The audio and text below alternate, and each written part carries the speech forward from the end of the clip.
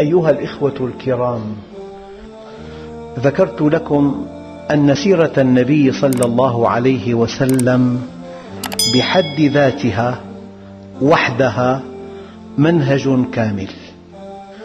وما انحرف المسلمون ودفعوا ثمن انحرافهم إلا بسبب بعدهم عن سنة رسول الله صلى الله عليه وسلم. وحينما قال الله عز وجل وما كان الله ليعذبهم وأنت فيهم. ليس في اللغة العربية صيغة نفي أشد من هذه الصيغة. سماها علماء اللغة نفي الشأن يعني مستحيل وألف ألف ألف ألف مستحيل أن يعذب المسلمون وهم مطبقون لسنة رسول الله. وأنت فيهم أي سنتك مطبقة في حياتهم. وكلما انحرف المسلمون عن سنة نبيهم ذاقوا من المحن والمصائب ما لا قبل لهم به. أيها الإخوة الكرام حينما تعاني الأمة أنواعا شتى من المآسي والنكبات تتنوع طرائق مواجهة هذه المحن. قال تعالى ولكل وجهة هو موليها.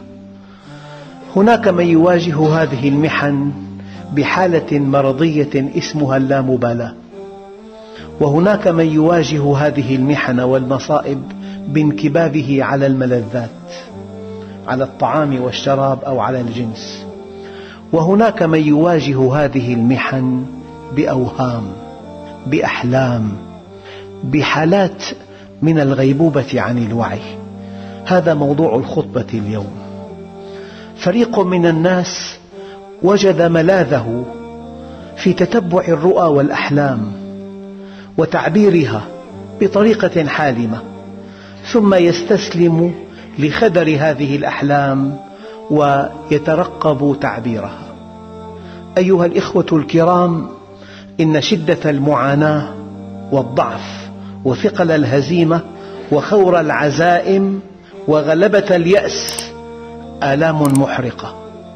تبعث في النفوس التي تعانيها التعلل بالأمان الكواذب والهروب من الواقع المأزوم إلى أطياف الأحلام. حالة مرضية. قلت لكم هناك من يدخل في حالة اللامبالاة هناك من ينكب على الملذات. هناك من يواجه هذه المحن لا بمنهج الله عز وجل ولكن بأوهام من الرؤى والأحلام. بالمناسبة أيها الإخوة البطولة أن تعتقد أن هذه المصائب التي تحل بالمسلمين ليست قهرا من عدو من بني البشر إنما هي تسليط من خالق البشر. والفرق كبير. إذا فهمتها غلبة لعدو متمكن قاهر تقع في اليأس وقد تستسلم وقد تستخزي وإن فهمتها تسليطا من خالق البشر لعلة فينا. الكرة إذا عندي إذا أبحث عن الحل أصطلح مع الله أتوب إلى الله. أراجع أوراقي أرتب أوراق بيتي أدقق في دخلي في إنفاقي في خروج بناتي وزوجتي. حينما أرى ذلك تسليطا الحل عندي. أما إن رأيته قهرا مما يناسب الشعور بالقهر أن تستسلم وأن تستخزي. نحن بحمد الله في بلدنا الطيب لا زلنا بخير ولكن من لم يهتم بأمر المسلمين في من حولنا فليس منهم. من لم يحمل هم المسلمين فليس منهم. أيها الإخوة هؤلاء الفريق من البشر يواجهون المحن بأوهام وهذه الأوهام تدغدغ عواطفهم ويرتاحون لها ويجترون دلالاتها ويقعدون عن العمل.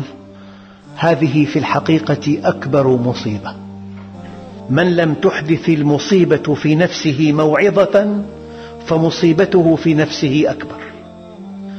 هذا الهروب من الواقع المؤلم إلى الأحلام هو صورة أخرى من الهزيمة النفسية وشاهد آخر من شواهد غيبة الوعي. أكبر مصيبة يتحملها الإنسان أن يكون غافلا عن الله. أن يكون غافلا عن الوعي الصحيح.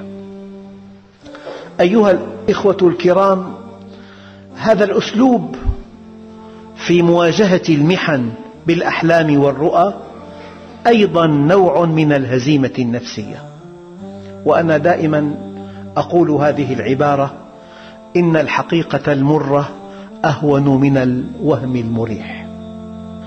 يا أيها الإخوة الكرام هذه الأحلام والرؤى تقودنا إلى الشعوذة وإلى الخرافات وإلى نبوءات كاذبة. لا تقوم إلا في من هان عليه أن يعيش بغير عقل. أرأيتم إلى هؤلاء الصحابة الكرام الذين أمر عليهم النبي صلى الله عليه وسلم صحابيا أنصاريا ذا دعابة. هكذا ورد في صحيح البخاري وفي صحيح مسلم. هذا الأمير قال أضرموا نارا فأضرموها فلما أضرمت قال اقتحموها ألست أميركم؟ أليست طاعتي طاعة رسول الله؟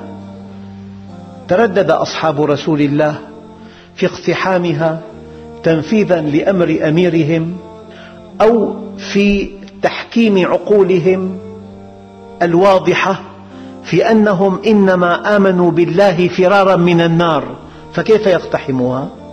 فلما عرضوا الأمر على النبي صلى الله عليه وسلم قال والله لو اقتحمتموها لازلتم فيها إلى يوم القيامة إنما الطاعة في معروف إنما الطاعة في معروف فلذلك لا تقوم هذه الأوهام إلا من هانت عليه نفسه وهان عليه أن يعيش بغير عقل يزعه عن الشطط وهان عليه أن يغفل عن مقاصد الشريعة وهان عليه أن يعيش تبعا وذيلا لكل ناعق.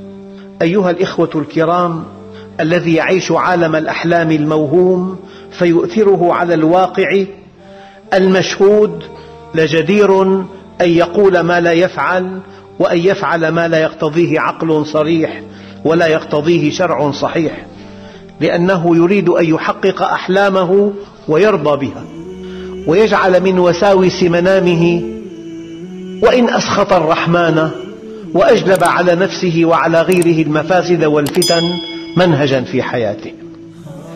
لذلك يصبح هذا الإنسان الذي يعيش الأحلام والرؤى وتعبيرها غير الصحيح تكون هاجسه ودافعه إلى سلوك معين مثل هذا الإنسان ضل سواء السبيل.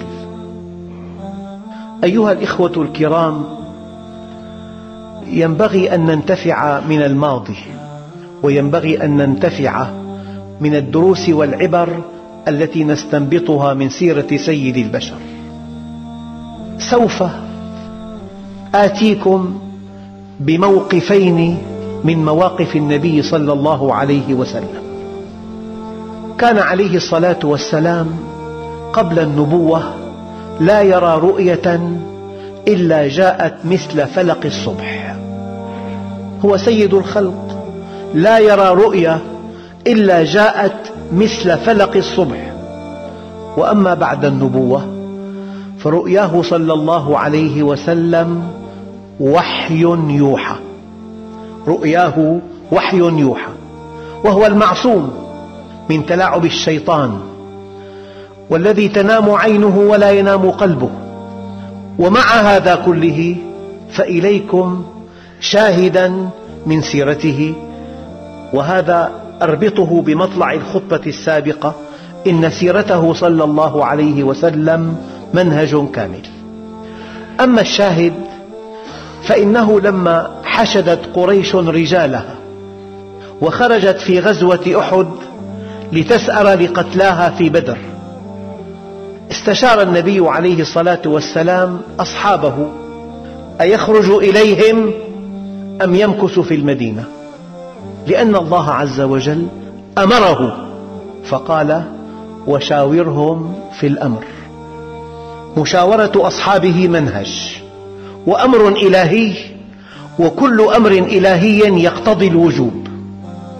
استشار النبي عليه الصلاة والسلام أصحابه أيخرج إليهم أم يمكث في المدينة؟ وأخبرهم أنه رأى رؤيا وما رؤياه إلا من الوحي رؤيا النبي وحي. قال يا بني إني أرى في المنام أني أذبحك. قال يا أبت افعل ما تؤمر. ورأى رؤيا ملخصها. قال رأيت بقرا تنحر ورأيت في ذباب سيفي ثلما ورأيت أني قد أدخلت يدي في درع حصينة. فتأول عليه الصلاة والسلام البقرة بنفر من أصحابه يقتلون. وتأول الثلمة في سيفه برجل يصاب من أهل بيته. وتأول الدرع بالمدينة. استشارهم وعرض عليهم رؤياه ورؤياه وحي.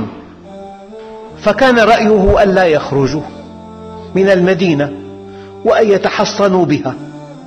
فإن دخلها المشركون قاتلهم المسلمون على أفواه الأزقة والنساء من فوق البيوت. فبادر جماعة من فضلاء الصحابة ممن فاته الخروج يوم بدر وأشاروا عليه بالخروج وألحوا عليه في ذلك. وقال بعض الأنصار والله يا رسول الله ما دخلت علينا في الجاهلية المدينة. أفتدخل علينا في الإسلام؟ وأبى أكثرهم إلا الخروج. عرض عليهم رأيه وعرض عليهم رؤياه. فلما رأى النبي عليه الصلاة والسلام أن أكثرهم يريد الخروج قال عليه الصلاة والسلام فشأنكم إذا إذا نخرج. ثم نهض ودخل بيته ولبس لأمته أي درعه وخرج عليهم. فقالوا أكرهنا رسول الله صلى الله عليه وسلم على الخروج. يا رسول الله إن أحببت أن تمكث في المدينة فافعل. فقال عليه الصلاة والسلام وهو يعلمنا الآن ألا نتردد. التردد مرض. التردد آفة كبيرة. فقال عليه الصلاة والسلام ما ينبغي لنبي إذا لبس لأمته أن يضعها حتى يحكم الله بينه وبين عدوه. وخرج أصحاب النبي إلى أحد. ماذا فعل النبي؟ اعتمد المشورة ثباتا منه على المنهج الذي ارتضاه له ربه وترك العمل بإيحاة رؤياه تلك ودلالاتها فلم تثنه رؤياه عن الخروج للقتال ولم يغر بها. ترك رؤياه ونفذ مشورة أصحابه. إذا ما شأن الرؤيا في حياة المؤمن؟ بشارة أو إنذار؟ لا يمكن أن يبنى على الرؤيا حكم شرعي ولا موقف سلوكي ولا فعل أو ترك فعل. بشارة أو إنذار ليس غير. أيها الإخوة الكرام إنما دفع النبي للخروج مشورة أصحابه لما استشارهم ومشايعة منه لرغبتهم في الخروج وترك الرؤيا تدور مدار الإنذار والتبشير. إن الثبات الذي لم تصرفه الرؤيا عن التزام المنهج الصحيح والانقياد له هو الثبات الذي أثنى عليه النبي صلى الله عليه وسلم. وقد أثنى عليه القرآن فقال يثبت الله الذين آمنوا بالقول الثابت. القول الثابت القرآن. المنهج الثابت الذي لا يأتيه الباطل من بين يديه ولا من خلفه. هذا شاهد أول. ممن الرؤيا من سيد الخلق. هي نوع من الوحي نوع من الأمر. ومع ذلك أخذ الأمر القرآني في قوله تعالى وشاورهم في الأمر وترك الرؤيا التي هي بمثابة وحي غير متلو أيها الإخوة الكرام أما الشاهد الثاني فإنه عليه الصلاة والسلام أري في المنام وهو بالمدينة أنه دخل هو وأصحابه المسجد الحرام وأخذ مفتاح الكعبة وطاف أصحابه واعتمروا وحلق بعضهم وقصر بعضهم الآخر فأخبر النبي صلى الله عليه وسلم أصحابه ففرحوا بها فرحا عظيما فهي تلك الرؤيا التي عناها الله بقوله لقد صدق الله رسوله الرؤيا بالحق لتدخلن المسجد الحرام إن شاء الله آمنين. ثم إنه عليه الصلاة والسلام خرج بأصحابه عام الحديبية إلى مكة يريد العمرة. وما كان أصحابه يشكون لحظة واحدة أنهم سيعتمرون عامهم تصديقا لرؤيا رسول الله صلى الله عليه وسلم. فلما وقع من أمر الصلح مع المشركين بالحديبية ما وقع؟ وما اقتضاه ذلك الصلح من أن يرجع المسلمون عامهم ذلك من غير عمرة على أن يعودوا من قابل ثقل ذلك على المسلمين كثيرا. وعز عليهم أن يرجعوا إلى المدينة من غير أن يطوفوا بالبيت الحرام حتى ذهب عمر. وتعلمون من عمر. يراجع رسول الله صلى الله عليه وسلم حتى قال له أولست يا رسول الله تحدثنا أن سنأتي البيت ونطوف به الاتفاق خلاف الرؤيا ألم تحدثنا ذلك؟ فقال عليه الصلاة والسلام بلى هل أخبرتك أنك تأتيه العام؟ قال لا قال فإنك آتيه ومطوف به.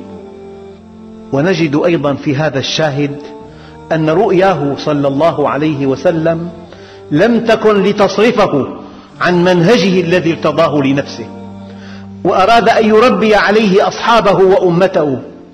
من ذلك حسن النظر في العواقب وتقدير المصالح. فلما رأى النبي صلى الله عليه وسلم المصلحة في الصلح رضي به وانقاد له غير آبه بشيء من الرؤيا التي رآها ولم تكن الرؤيا همه ولم تكن غاية يسعى لتحقيقها ولم تكن أفعاله خاضعة لدلالتها ومقتضاها وإنما ترك تأويل رؤياه يأتي تباعا من الطريق الذي نهجه والتزم سلوكه. وهكذا أخذ النبي صلى الله عليه وسلم الرؤيا في حدودها ومكانها اللائق بها فهي عنده دققوا الآن فهي عنده مبشرة لا موجهة. تبشر ولا توجه. لا يمكن أن يبنى على الرؤيا موقف ولا حكم شرعي. بل إن الفقهاء يقولون من رأى رسول الله يأمره بخلاف منهج الله ترد الرؤيا ويثبت الشرع. ديننا دين منهج قويم. دين حكم شرعي. دين نص صحيح. وليس دين كرامات ولا منامات. الكرامات بشارة بينك وبين الله. يمنع أن تذكرها. يمنع أن تتحدى بها. المعجزات أمر الأنبياء أن يتحدوا بها قومهم لأنها برهان على أنهم رسله. أما الولي كرامته فيما بينه وبين الله إشعار داخلي ممنوع أن تلقى على الملأ ممنوع أن يتاجر بها ممنوع أن تكون سببا لموقف أو لحكم شرعي. أيها الإخوة الكرام والله الذي لا إله إلا هو أنا لا أتكلم من فراغ. سمعت مئات المنامات والرؤى وكأنها مثبطة للعزائم وكأنها مدغدغة للأحلام وكأنها نشوة وموهومة يعيشها الإنسان ويجترها والواقع هو الذي ينبغي أن نتعامل معه. أيها الإخوة الكرام شيء دقيق أحب أن يكون بين أيديكم. رؤيا النبي عليه الصلاة والسلام كما قلت قبل قليل جزء من الوحي. فكيف برؤيا غيره؟ أنا أتحدث عن من؟ عن سيد الخلق وعن حبيب الحق عن المعصوم الذي لا يخطئ عن رؤياه التي هي وحي يوحى. ومع ذلك أخذ بالمنهج الثابت ولم يأخذ برؤياه التي رآها هو. فكيف برؤيا غيره الآن؟ أن دخلنا إلى رؤيا غيره التي ربما كانت أضغاث أحلام وربما كانت تحديث الشيطان. غير النبي ربما تكون رؤياه أضغاث أحلام أو تحديث شيطان. فإذا كان من الخطأ في المنهج اتخاذ الرؤى هاديا ودليلا يترسم به المرء طريقة ويتبصر به الحق فإن من الخطأ كذلك أن نسارع في تصديق كل ما يحكى لنا من الرؤى. هذه طرفة دخل أحدهم على رجل له مركز القرار. قال له رأيت النبي عليه الصلاة والسلام يسلم عليك ويأمرك أن يكون لي عندك عمل في وزارتك. فكان هذا الوزير ذكيا قال له أنت متى رأيت الرؤيا؟ قال له في الساعة الثانية عشر ليلا. قال إني رأيته في الساعة الرابعة يقول لي هذا كذاب لا تصدقه. معنى ذلك قضية ليس لها ضابط. كل إنسان قد يدعي رؤيا لم تكن لها أصل. نحن تحدثنا عن رؤيا النبي. إذا الموقف الأول ينبغي أن نأخذ بالقول الثابت وهو القرآن. وينبغي أن نأخذ بسنة النبي عليه الصلاة والسلام المبينة لأحكام القرآن. هذا الموقف الأول. الموقف الثاني أنا لست مكلفا أن أصدق أية رؤية إلا ما ورد بها نص صريح في القرآن أو السنة. الموقف الثاني لا ينبغي أن أصدق أية رؤية أنا ملزم بتصديق الرؤيا التي وردت في القرآن أو في سنة النبي العدنان. وما سوى ذلك أصدق أو لا أصدق على مزاجي. إذا من الخطأ أن نسارع في تصديق الرؤيا. لذلك أصبح اشتغال الناس بالرؤى والأحلام وتأويلها أكثر من اشتغالهم بالعمل الذي يواجهون به حقائق الواقع الأليم. يقول عليه الصلاة والسلام وهذا قول في صحيح البخاري متفق عليه في الصحيحين الرؤيا الصالحة جزء من ست وأربعين جزءا من النبوة. متفق عليه. وبقوله صلى الله عليه وسلم لم يبق بعدي من النبوة إلا المبشرات. فقالوا يا رسول الله وما المبشرات؟ قال الرؤيا الصالحة يراها المؤمن أو ترى له متفق عليه. لهذين الحديثين إن شاء الله موقع آخر في خطبة أخرى. سياق الخطبة اليوم ألا تتخذ الرؤيا منهجا للعمل. أيها الإخوة الكرام قد نرتاب كثيرا في أن تكون كل المرويات من أحلام الناس اليوم هي من جملة الرؤى الصالحة المبشرة. قد تكون أوهاما وقد تكون حديثا للشيطان وقد تكون أضغاث أحلام. فثمة أمور أيها الإخوة تدفعنا للتريث كثيرا وتصرفنا عن تصديق كل ما يروى من الأحلام وبما يحكى من تأويلها. الأمر الأول أن يكون المرء الذي نسبت إليه تلك الرؤيا كاذبا. أول احتمال أن تكون هذه الرؤيا كاذبة وليس هناك من دليل على تصديقها. فقد يتحلم المرء بحلم لم يره يتحلم يدعي يكذب بحلم لم يره. وهذا احتمال وارد والوعيد في ذلك شديد يقول عليه الصلاة والسلام فيما رواه الإمام البخاري من تحلم بحلم لم يره كلف أن يعقد بين شعيرتين ولن يفعل. يعني كلف تعزيزا وكلف شيئا مستحيلا كما قال شيئا مستحيلا. من تحلم بحلم لم يره كلف أن يعقد بين شعيرتين ولن يفعل. ثم إننا إن فرضنا صحة الرؤيا وأن صاحبها صادق فثمة أمر آخر يرد عليها وهو كون ذلك الحلم من قبيل حديث النفس. الإنسان له حاجات قد لا تتحقق في عالم الواقع. تتحقق في عقله الباطن في الليل. فما حرم منه في النهار يراه في الليل. والدليل من نام في حالة عطش ماذا يرى في الليل؟ يرى يشرب الماء البارد يرى أمام شلال يرى. هذه كلها أحلام نابعة من حاجته إلى الماء.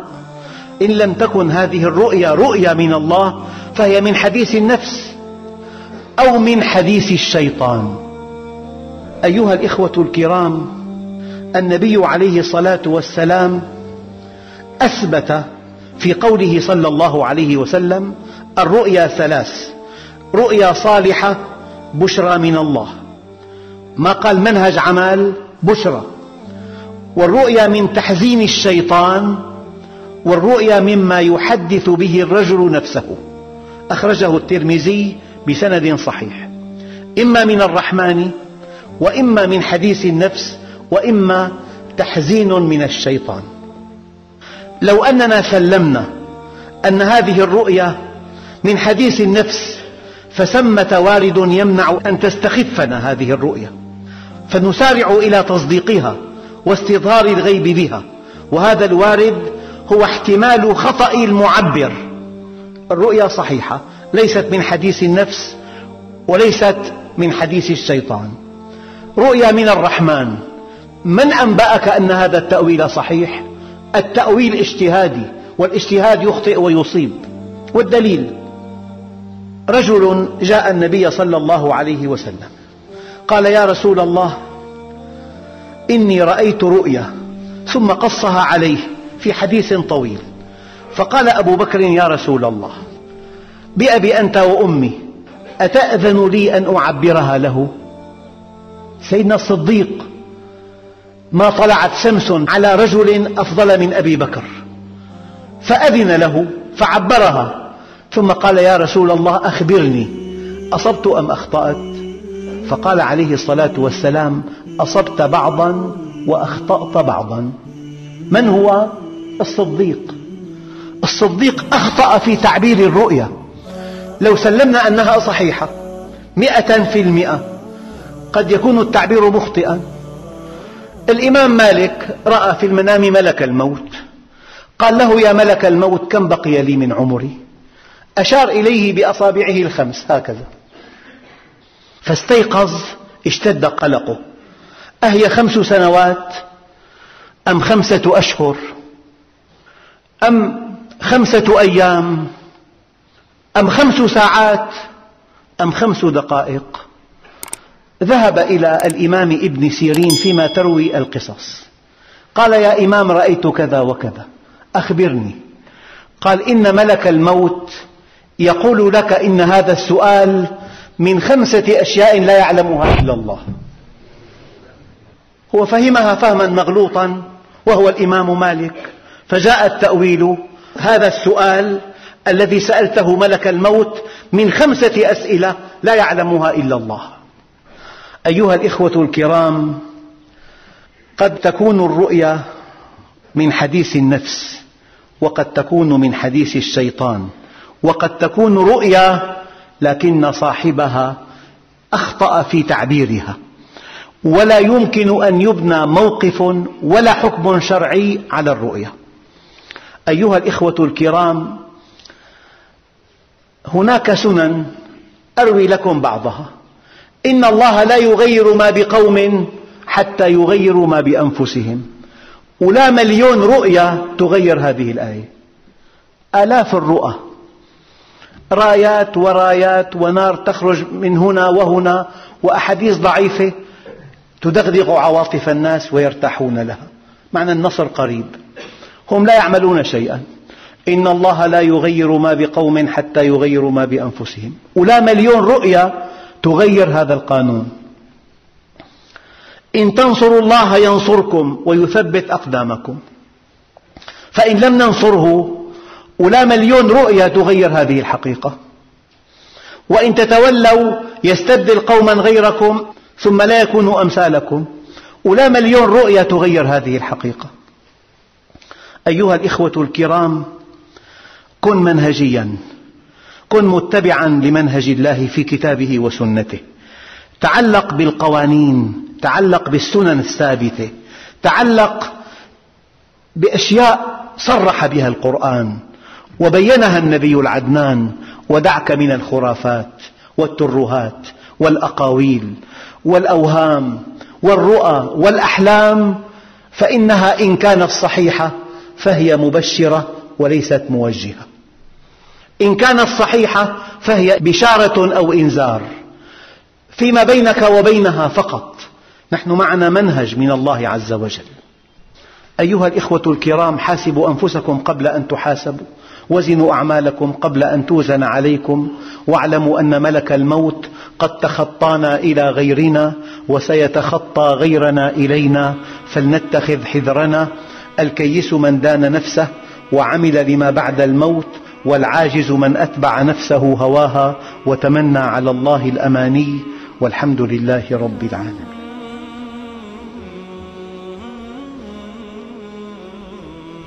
الحمد لله رب العالمين وأشهد أن لا إله إلا الله ولي الصالحين وأشهد أن سيدنا محمدا عبده ورسوله صاحب الخلق العظيم. اللهم صل وسلم وبارك على سيدنا محمد وعلى آله وصحبه أجمعين. أيها الإخوة الكرام إن في التكرار فائدة. ما نزل بلاء إلا بذنب ولا يرفع إلا بتوبة. فأي حل آخر؟ إذا كان أرضيا فالطريق مسدود. أي حل آخر؟ إذا كان الحل أرضيا فالطريق مسدود. ما نزل بلاء إلا بذنب ولا يرفع إلا بتوبة. وأنت كأحد من آحاد المسلمين. قد لا تستطيع إقناع المسلمين أن يصطلحوا مع الله. قد لا تستطيع. يمكنك أن تصطلح أنت مع الله. إن فعلت ذلك أديت الذي عليك وبقي من الله الذي لك. قد لا تستطيع إقناع المسلمين في مشارق الأرض ومغاربهم أن يصطلحوا مع الله وأن يتوبوا إليه ويطبقوا منهجه. هذا فوق طاقتك وفوق طاقة أكبر الدعاة في الأرض. لكن الذي في إمكانك أن تصطلح أنت مع الله وأن تراجع نفسك وأن ترتب أوراق بيتك وأن تقيم الإسلام في بيتك وفي عملك أديت الذي عليك وبقي من الله الذي لك. اللهم اهدنا فيمن هديت وعافنا فيمن عافيت وتولنا فيمن توليت وبارك لنا فيما أعطيت وقنا واصرف عنا شر ما قضيت فإنك تقضي بالحق ولا يقضى عليك وإنه لا يذل من واليت ولا يعز من عاديت. تباركت ربنا وتعاليت ولك الحمد على ما قضيت نستغفرك ونتوب إليك. اللهم هب لنا عملا صالحا يقربنا إليك. اللهم أعطنا ولا تحرمنا أكرمنا ولا تهنا آثرنا ولا تؤثر علينا أرضنا وارض عنا. أصلح لنا ديننا الذي هو عصمة أمرنا وأصلح لنا دنيانا التي فيها معاشنا. وأصلح لنا آخرتنا التي إليها مردنا. واجعل الحياة زادا لنا من كل خير. واجعل الموت راحة لنا من كل شر. مولانا رب العالمين. اللهم اكفنا بحلالك عن حرامك وبطاعتك عن معصيتك وبفضلك عمن سواك. اللهم لا تؤمنا مكرك ولا تهتك عنا سترك ولا تنسنا ذكرك يا رب العالمين. اللهم أعطنا ولا تحرمنا. أكرمنا ولا تهنا آثرنا ولا تؤثر علينا أرضنا وارض عنا. اللهم وفق ولاة المسلمين في مشارق الأرض ومغاربها لما تحب وترضى. اللهم اجمع بينهم ووحد شملهم واهدهم سبل الصلاح.